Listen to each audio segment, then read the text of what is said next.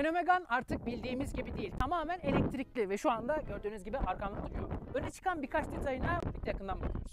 Yeni Renault logosunun ilk kez kullanıldığı otomobil olan Megane E-Tech'in dış tasarımında da sportif detaylar öne çıkarılmış. Örneğin burada gördüğünüz gibi hava kanalları gerçek ve arka tarafta lastikler gövdeden taştığı için burada tırnak kullanmışlar tamamlamak için. Saklı kapı kolu tasarım var. Yaklaştığınız zaman sizi algılıyor, kendini dışarı atıyor. Kokpitinde 12,3 inçlik iki ekran var. Arayüzlerinin geçişleri gerçekten oldukça başarılı. Sporta falan giriyorsunuz. Çok keyifli bir şekilde Burada otomobili gösteriyor. Kokpitteki en hayati özelliğe bakıyorsunuz şu anda. Yok o ben değilim özellik olarak. Bu otomobilin arkasında bir geri görüş kamerası var. Yani park manevralarının dışında burada doğrudan geriyi de görüyorsunuz.